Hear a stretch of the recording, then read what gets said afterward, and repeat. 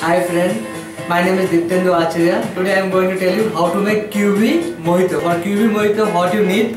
Soda, 45 ml of white rum, lime juice, sugar syrup, QB crush, mint leaf and lime chunks.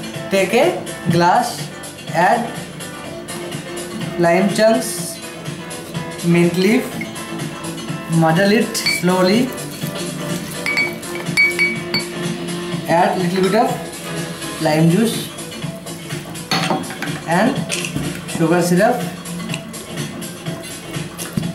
One more time muddle it slowly and fill the glass with crushed ice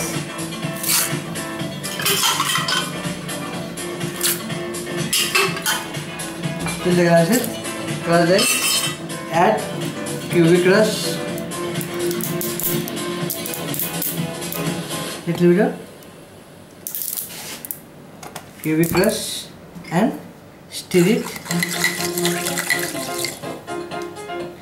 Add the white rum and fill the glass with soda. Garnish with one straw and mint leaf and lime slice. This is the refreshment cocktail Kiwi Mojito. I hope you like this cocktail.